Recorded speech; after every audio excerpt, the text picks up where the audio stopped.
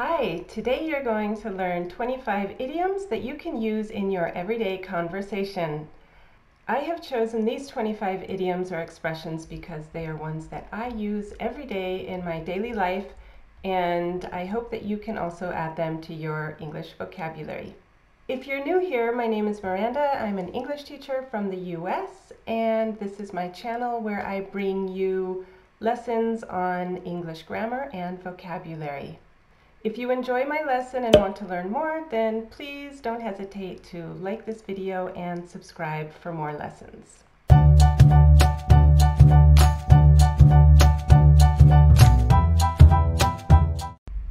The first idiom I have for you is to bite the bullet.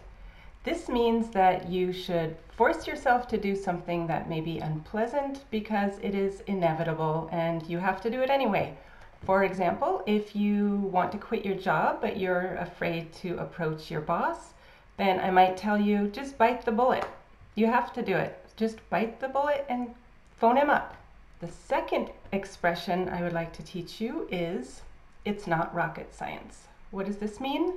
This means that something is not complicated. If your friend has to put together IKEA furniture and is complaining that it's too complicated, you could tell him, well, just watch a YouTube video on how to put together that furniture. Come on, it's not rocket science. You can learn it. The next idiom I'd like to teach you is the best of both worlds. You can use this expression to say that you have the advantage of two things without having to sacrifice one of them. For example, if you can't decide if you would rather live in the city or the country, because in the city it's very convenient, um, but in the country it's very peaceful, then you can buy a small apartment in the city and a small apartment in the country instead of one big house and you can have the best of both worlds. You don't have to give anything up.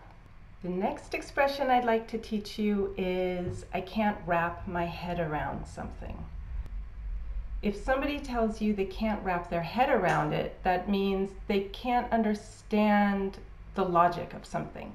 Like if your friend divorces her amazing husband and marries a complete jerk who doesn't treat her well, then you could just say, Well, I, I can't wrap around my head around it. I don't understand what's going on. I just can't wrap my head around it. So this next one is an everyday idiom that simply means I don't know. And it's your guess is as good as mine. So if someone asks you a question like, do you know where my friend is? She was here five minutes ago and she's gone. Your guess is as good as mine. That means I don't know any more than you know. Your guess is as good as mine.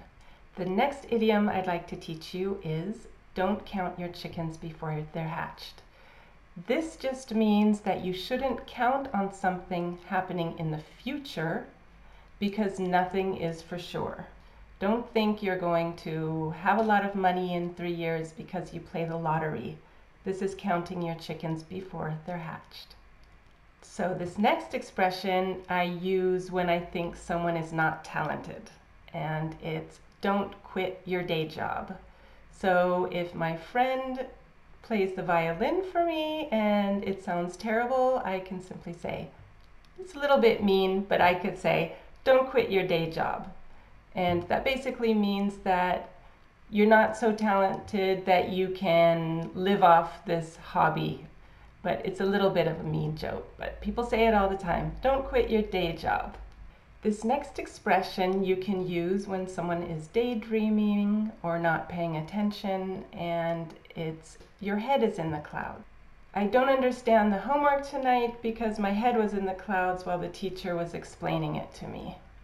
This next expression is to shape up or to ship out, two phrasal verbs in one idiom.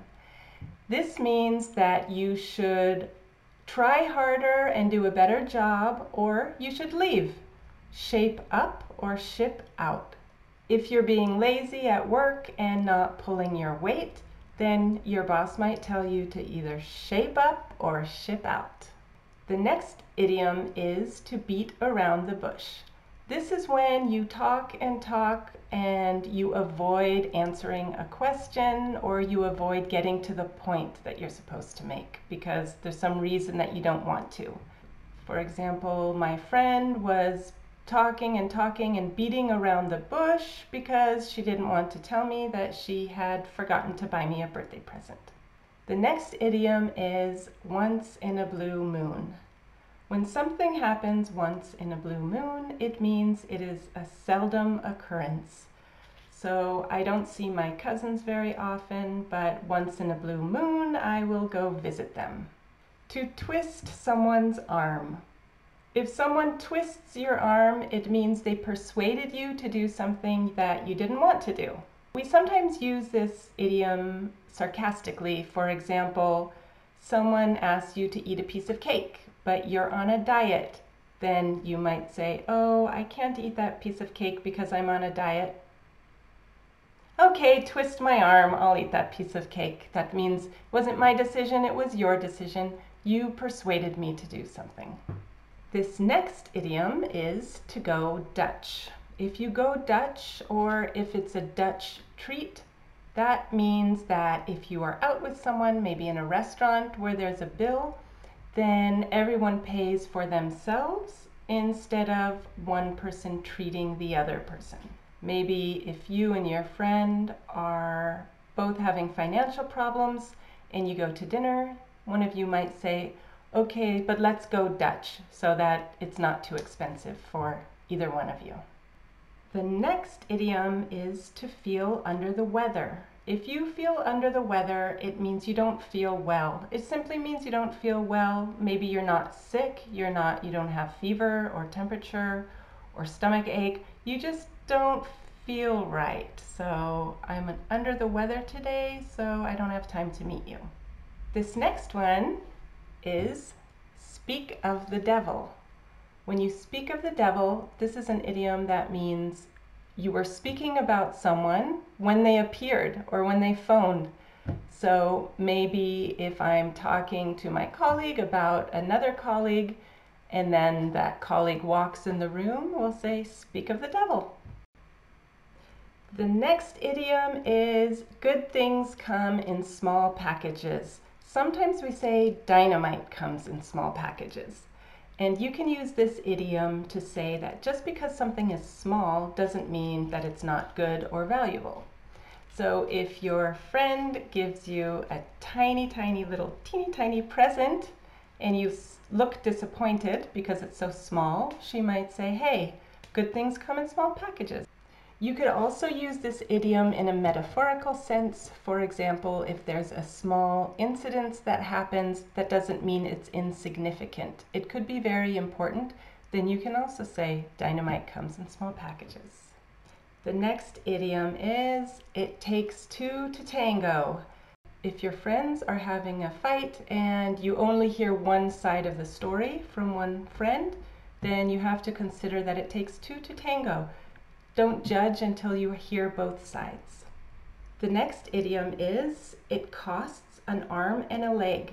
This simply means that something is expensive. Do you like my new jacket? Well, it cost an arm and a leg. Okay, another idiom that I use quite often is, let's call it a day. To call it a day means that it's the end of the workday, so let's finish our project or let's finish the work for the day. Maybe we have more work to do on this assignment, but I'm so tired, so let's just call it a day. The next expression is to turn a blind eye. What does this mean? It simply means that you see something bad happening, but you pretend not to notice because you don't want to get involved. For example, if you see somebody cheating on a test, but you don't want to get involved, you don't want to have the problem of confronting them or telling on them, then you might turn a blind eye and pretend not to notice. The next idiom is to be over the moon, another one with the moon. And this just means you're very, very happy.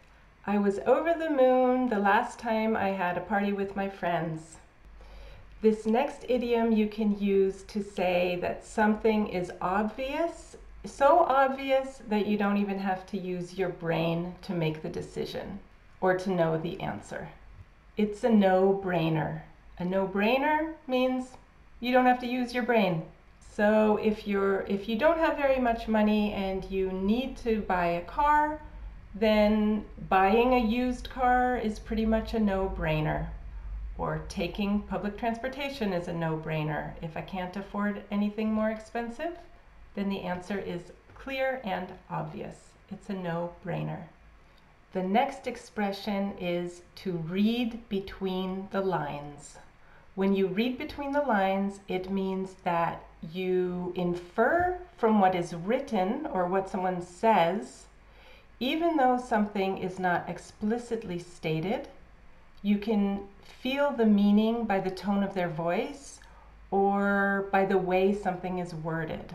If, you're, if you ask your friend how she is and she says, mm, I'm fine, everything's good, then you have to read between the lines and see from her expression that she's actually quite sad. Read between the lines. So my next idiom is to kill two birds with one stone.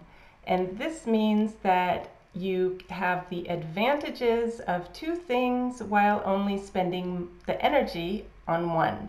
For example, if you would like to learn English and you would like to learn how to play tennis, then the obvious thing to do is to take tennis lessons from an English teacher or someone who speaks English, then you are learning tennis and English at the same time. You kill two birds with one stone.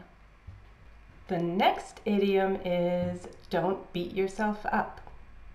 You can use this idiom to make your friend feel better if maybe they made a mistake or they did something wrong and they feel bad about it, they have a guilty conscience or just feel down about it, you can say, don't beat yourself up. It means don't be hard on yourself. It's okay. Don't beat yourself up. There's no use getting upset about it now. And the last idiom is to be on the fence about something. This means that you can't make a decision. For example, if you're not sure if you want to go back to school to study something or if you want to concentrate on your career, then you can say, actually, I'm on the fence. I don't know which one I'm going to do. I haven't decided yet. I'm on the fence. If you've enjoyed learning these idioms or would like to learn more idioms, then I'd like you to check out the links in the description box. I have two idiom games and an idiom blog article that you could read up on. And like I said before, I'm always happy to hear about ideas you have for further videos, so you can also let me know in the comments. Also let me know what your favorite English idiom is. Thanks for joining me. Take care and until next time, bye bye.